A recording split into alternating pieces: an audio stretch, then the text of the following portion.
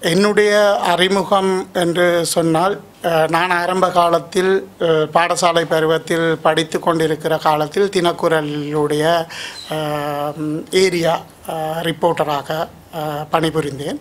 அதற்கு பின்பு நான்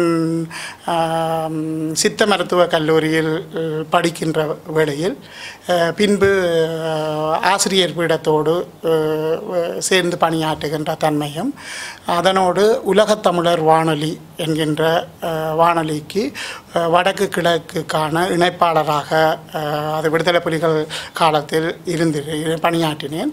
அதற்கு அந்த காலத்தில் நான் ஈழநாடு பத்திரிகையிலும் பணியாற்றியிருக்கிறேன். பின்பு அதற்கு பிறகு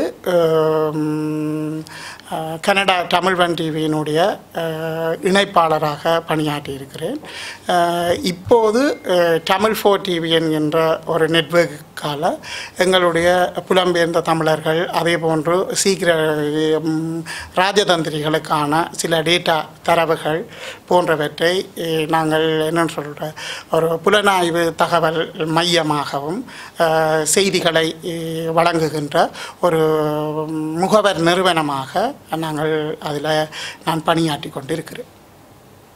நேற்று உங்களுக்கு தாக்குதல் நடத்த வந்தது அல்லது நடத்தி இருக்கிறது சொல்லலாம் சந்தேகம் இருக்கு. அல்லது யார் அதை செய்திருப்பாங்க அஹ், இந்த இதை செய்தவர்களுடைய நோக்கம் ஒன்று இதில் இரண்டு காரணங்களை நான் சொல்லலாம். அஹ், போலீசாருடைய அனுமதியோடு என்னென்னு சொன்னால் ஊரடங்கு வேளையில் தான் இந்த தாக்குதல் இடம்பெற்றது. எனவே எங்களுடைய அலுவலகத்திலிருந்து ஒன்றரை மீட்டரில் போலீஸ் நிலையம் இருக்கிறது. இருநூறு மீட்டரில் இராணுவ பெரிய தலைமையகம் ஒன்று இருக்கிறது. கோத்தபாய ராஜபக்சவனால் திறந்து வைக்கப்பட்ட அந்த இராணுவ கேம்ப் கூட அருகாமையில் தான் இருக்கிறது.